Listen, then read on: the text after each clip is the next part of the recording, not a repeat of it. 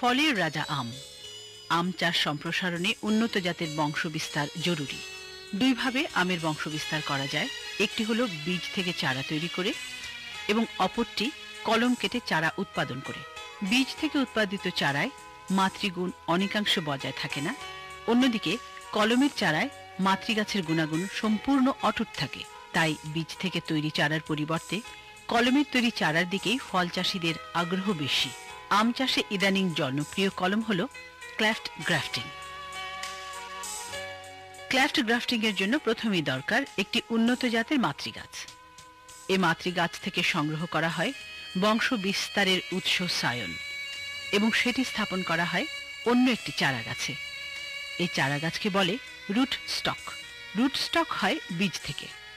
সায়ন এবং রুট স্টকের মিলনে কীভাবে উন্নত জাতের একটি নতুন চারা তৈরি হয় আসুন, সেই প্রক্রিয়াটি দেখি নিবিড়ভাবে।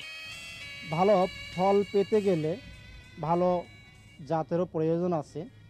এইটা একটা জাত, গোপালভোগ। আমি এই গাছ থেকে ছায়ন কালেকশন করব।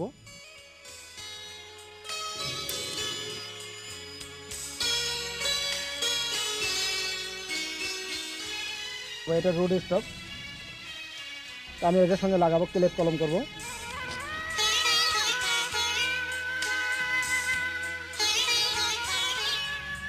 এবার ঢোকানোর পরে যে কোনো এক সাইড সায়ন যদি কোনো সময় একটু মোটা হয়, তাহলে এক সাইড কেটে দিতে হবে। তো আমার এই সায়নটা মিল হয়ে গেছে।